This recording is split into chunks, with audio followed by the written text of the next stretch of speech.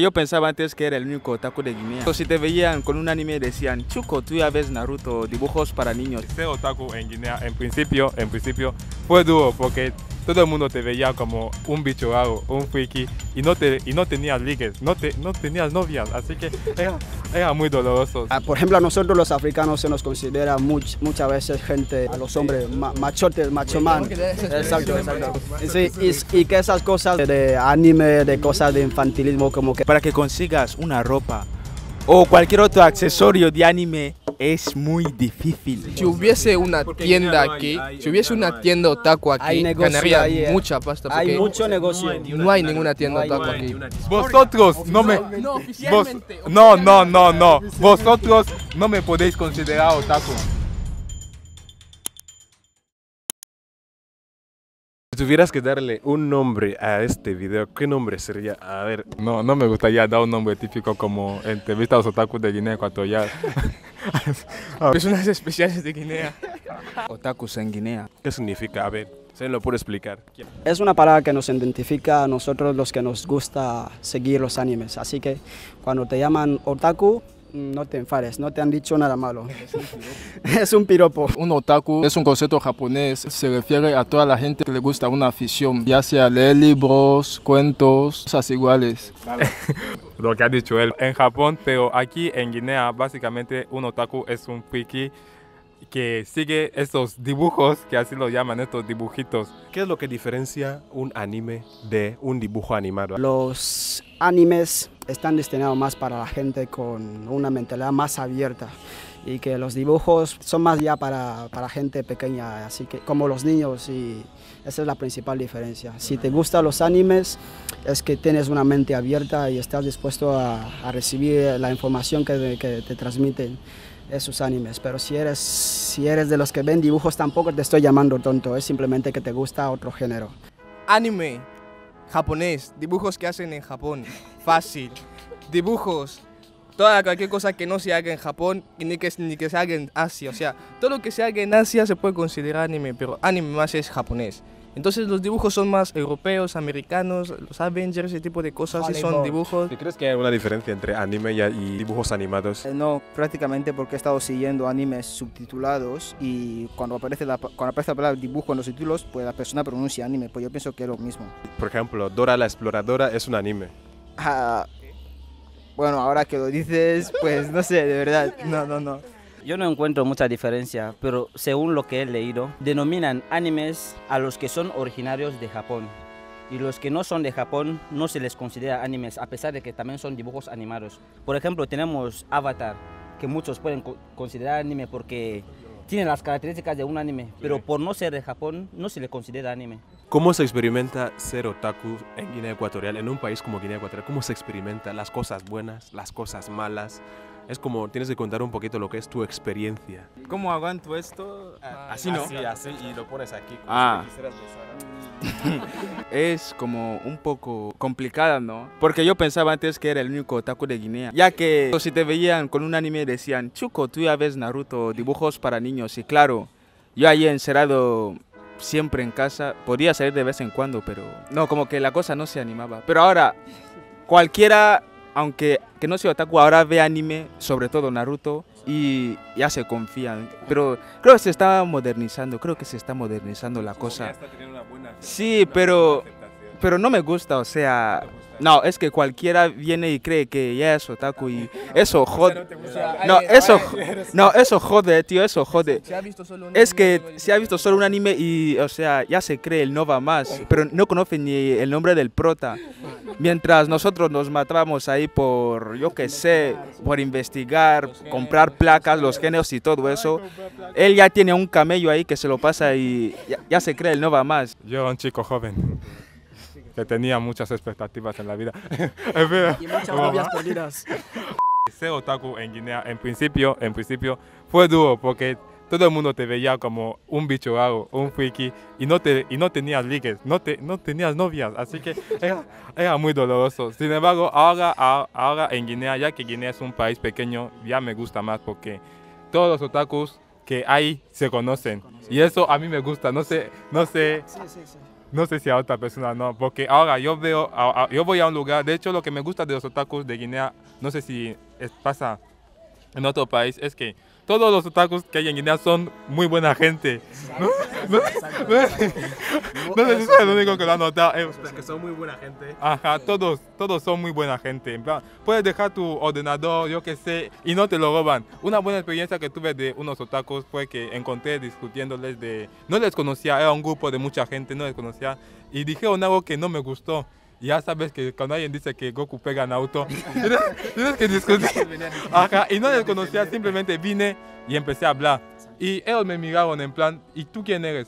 Pero da igual, comenzaron a hablar conmigo, en plan, no me- pero ¿qué, qué dice? En plan, ¿cómo Goku va a pegar Naruto? Me miraron, me miraron quién eres y luego comenzamos a discutir como si nos conocemos de toda la vida. Entonces, Es algo que me gusta, o al menos es una gran experiencia que me gusta tener de los otakus de Guinea, que todos somos amigos, aunque no nos conozcamos de ningún lugar. Simplemente el hecho de ver anime ya nos hace grandes amigos. Así que eso. Bueno, llega un momento en tu vida en el que todos los demás, o sea, todos los que te rodean son diferentes a ti y piensas que eso es malo. Eso me ha pasado, que supongamos me aíslo. En los animes se llama hikikomori. Un, un otaku que es solitario, que siempre está encerrado en su habitación viendo sus animes. Eso me ha pasado a mí. Pero la verdad es que actualmente ser otaku me ha traído muchas cosas buenas. Por ejemplo, Frank. Es uno de mis mejores amigos y le conocí por los animes. En principio ha sido muy difícil, como han dicho los compañeros, peor por ser chica. Es que se quejaban porque decían que los animes, esas- esos dibujos son para los chicos. Al fin y al cabo, me sentía aislada, como siempre. La gente decía, tú ves animes, chico, no te acerques, no eres una chica, eres un chico, sal de aquí. Y así, creciendo, me han tomado como un chico y a mí, sinceramente, no me ha gustado. Pero creciendo, fui conociendo a gente, de verdad, fue un- una bendición para mí conocer a gente que está en la misma condición que les gustan los animes. Ser otaku eh, en Guinea Ecuatorial. Como han dicho mis compañeros, lo de que la gente te critica por sim- el simple hecho de que te guste algo que a ellos no. También está lo de que, bueno, tu familia te tomará por tonto. Eso sí.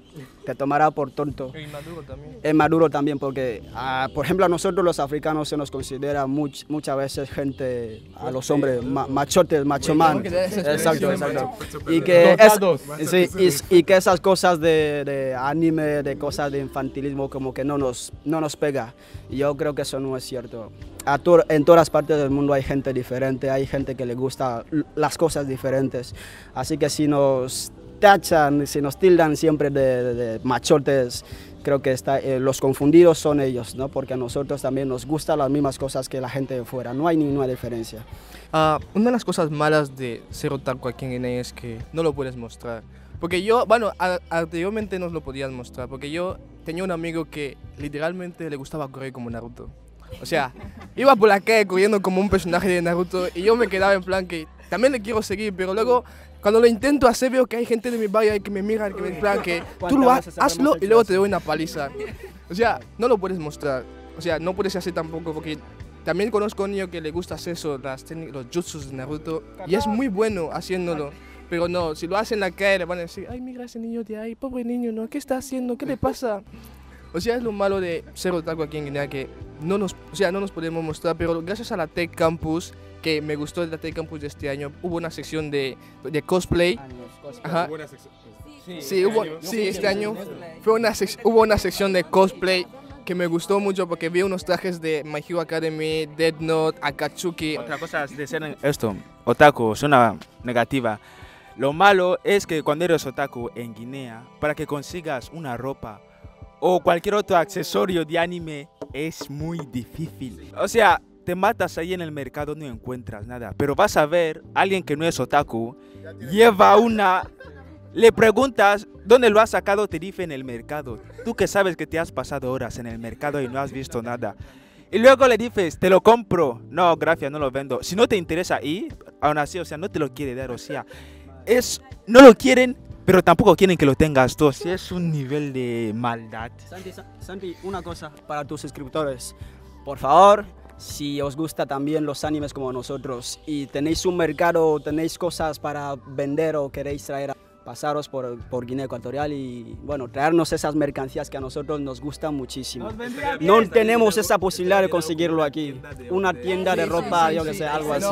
No, Nos encantaría. literalmente, si hubiese una tienda aquí, si hubiese una tienda otaku aquí, ganaría ahí, eh. mucha pasta. Hay mucho negocio. No hay ninguna tienda otaku aquí. No hay ninguna. No hay. No hay. No hay. Conocemos a todos los otakus de casi prácticamente todo Malawi y ninguno dice, ay, hay una tienda ahí, vete a comprar ropa otaku. No hay. Si tú vas, si tú tienes una suerte de, tú encuentras una camisa que tiene el logo de Naruto o algo así, dices, oh, suerte, pero literalmente no hay. Doblaje de voz en español y doblaje de voz en latino. ¿Qué preferimos? Depende del anime. Es verdad que tengo más afinidad o, tengo, o siento más afinidad con los animes doblados en español de España. Porque me resulta más fácil entenderlos, la verdad. Aunque, aunque los animes eh, eh, doblados eh, en Latinoamérica también son mucho mejores. ¿Por qué? Porque ellos le dan más vida. Kamehame, Kamehame. Onda vital, eh, sue- suena supermercado, no sé qué. Yo prefiero más el latino porque es, lo, es el que más he visto. Los latinos siempre están al día en los animes que quiero ver, así que lo doblan rápido. Y en español, para que encuentre un anime que quiero ver en español, joder, es mucho tiempo. Así que ya me acostumbro con latino y prefiero quedarme con latino. Eres hermoso como eres, coraje. Con todas tus imperfecciones lograrás lo que quieras. Te lo juro por Dieguito Maradona. No diferencio, bueno, a no ser que en el anime ponga español, latino, no sé, pero me quedo con el latino, ya que animes como por ejemplo One Piece, que tiene mil y pico de capítulos, que lo traduzcan al español y luego escuchas los nombres, eso y como que desanima, ¿no? Ah, por ejemplo, Smoker le llaman Capitán Malumo, o sea, le, le meten el español y Gomo, en vez de ser Gomu Gomu, van con Goma Goma o Estira Estira y Afloja, o sea. o sea, los nombres cambian y tú, sinceramente, prefiero el latino, la verdad. Es que el español latino mola. Ves un anime ahí o una película que te pone español latino y. Bueno, bueno, bueno, bueno, bueno, las películas... Vale, tampoco te. Bueno, también depende, bueno, depende. A mí me da un poco igual, realmente. Porque hay veces que tú ves, si empiezas a ver, depende de con qué idioma has empezado a ver el anime. Por ejemplo, si empiezas a ver el, el anime con español latino y luego en medio cambias a español, a español castellano, te va a joder. Da, da- da igual, da igual si prefieres castellano o latino. Pero bueno, si empiezas ahora con castellano y luego en medio empiezas a ver latino, te jode igualmente. Así que yo creo que depende de qué empiezas, pero preferentemente me gusta más el castellano. No, me gusta más el castellano. De hecho, me ha sorprendido que a la mayoría le guste más el latino. Yo prefiero el español también. A mí me gusta el, latino, el español. A- Ahora, el, el español latino, como realmente no diferencio de qué país suele ser. Eh, Me dice que ese anime está en eso español, eh, español latino y eso está en su español, chico, prefiero ver en, o sea, en subtítulos moviendo el ojo como un manguillo Sharingan porque no me gusta mucho el latino, de verdad. ¿Cuál crees que es el anime más consumido en Guinea Ecuatorial? Tu opinión. El anime más consumido en Guinea Ecuatorial. Creo que, aunque me duele, me duele, me duele un montón decirlo, es Dragon Ball. Y es Dragon Ball. Lo siento, tío, lo siento. 2000 algo por ahí, enseñaba Naruto. Eh, eso. Es que Naruto de 2002. Pues es 2000 algo, enseñaba Naruto. Ahora el más famoso es Dragon Ball, pero el que Eh, no, cualquiera, el que cualquiera, o sea, si te ve viendo cualquier otro anime te va a decir, estás viendo Naruto, sea el anime que sea. ¿Cuándo una persona podría declararse oficialmente otaku? Vale, en mi opinión, una persona se puede referir oficialmente otaku solamente. Yo creo que eso ya es decisión más propia, ¿no? Para que una persona se considere otaku, tiene que haber visto los cuatro clásicos para mí. Los cuatro clásicos. En primer lugar, tendrías que haber visto como mucho Dragon Ball, hasta la saga Freezer. No, hasta la saga, saga Cell. Tendrás que haber visto mucho hasta ahí. Naruto, hasta la Guerra Ninja. Ah, luego está One Piece, que al mundo tendrás que haber visto como 20 o 4 capítulos, pero bueno, One Piece es algo otra cosa. Para que alguien se considere otaku, bueno, tendría que haber visto a los padres, bueno, a los padres, a los, a los fundadores, a los fundadores de los padres del anime. O sea, digamos, uno como Mazinger Z, Astro Boy, Doraemon, Saint Seiya, o sea, es que si, es que si me dices que has visto esos animes, yo te considero otaku inmediatamente. Pero si me has visto Naruto, todo el, todo el mundo ve Naruto, está aquí, Dragon Ball también. Los otakus de ahora solo, o sea, si te van a decir que son otakus porque han visto animes nuevos, o sea, ya han dejado. O sea, Boku no. Exacto. ¿Qué decís? Que para que yo vea, para que me consideréis otaku, tengo que tener ya está. Porque yo os juro que no he visto nada de esto. Me aburre. Me, me aburre, no voy a mentir, me aburre. Los canvas, que tiene un poco de calidad. A ver, es que, es que Sensei ya, ahora mismo, a mí no me gustó. De- en, ¿no? en su tiempo no me gustó. De hecho, no lo seguía.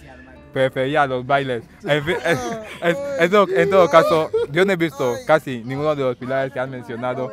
Ni los pilares que han mencionado. Es que realmente lo que, lo que me gusta de un anime es el estilo de dibujo y la calidad. La calidad y la, la acción, o sea, la movilidad. Es- Entonces, literalmente no se te puede considerar otaku. vosotros no me. No, vos- no, no, no, no. Vosotros no me podéis considerar otaku. Me estáis despachando. ¡Ah, que me voy! No estoy del todo de acuerdo con los compañeros porque yo no puedo considerar a alguien un otaku simplemente por el hecho de haber visto los pilares, como ellos lo han llamado. Yo veo animes desde 2009 hasta 2023 y que yo ya no, que no haya visto esos animes, lo conozco de otaku, ¿no? A ver, a ver, ¿qué animes veías en 2009? Yo veía Dragon Ball, Ajá. Naruto, Ajá. esos, eh, Death Note, Bleach, One Piece, Bleach. Pero si acabas de decir. ¿Cuál es el primer anime que viste, tu mejor anime de la historia? El primer anime que vi, porque en ese momento eran tiempos de mangas, pues sería, si no, Senseiya, Oliver y Benji o City Hunter, pero el que es mi favorito, el que está por encima de todos, es One Piece. El primer anime que vi fue Heidi. Heidi. Después vino Marcos. Yo consumí esos también. A ver, ahora el mejor para mí, el mejor anime de todos para mí es y siempre será Naruto. Por su profundidad. Creo que el primer anime que vi fue Senseiya, pero el primero que seguí fue Dragon Ball. Sí. Ahora, el primer el anime de- para mí de la historia es bueno, me gustaría decir que es Naruto, pero ya, ya no es Naruto. Porque no sé, no sé por qué os gusta aferraros al pasado. Realmente hay anime, hay anime, hay animes que ya han superado Sen- Senseiya. Y tal vez en tu momento fue el mejor, pero ya pasó, ya pasó. ¿Vale? El anime que será el mejor del mundo, que es el mejor del mundo, es Ataque a los Titanes. Ay, A ver, vale, este me, ha- me ha convencido, me ha convencido. Una cosa, una cosa, me ha convencido. O sea, el primer anime que vi fue Naruto, pero el que literalmente vi del primer capítulo hasta el último la primera temporada fue Sao. Y sin mentir, el mejor anime de la historia actualmente es Boku no Pico. No, no, es coña, es coña, es coña. es coña, es coña, es coña. El mejor anime de la, de la historia actualmente es, a lo tonto, One Piece. A lo tonto, es One Piece.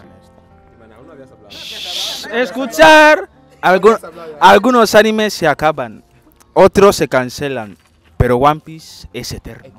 Eterno, hasta el 2050 si hace falta. El primer anime que vi fue Mazinger Z.